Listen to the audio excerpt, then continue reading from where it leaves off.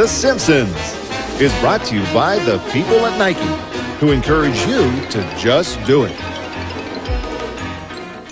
You're traveling through the weightless environment of Nike Air Flight. Next stop, the flight dimension. Examine, if you will, Scottie Pippen about to discover the power of his flight shoes by way of a time warp.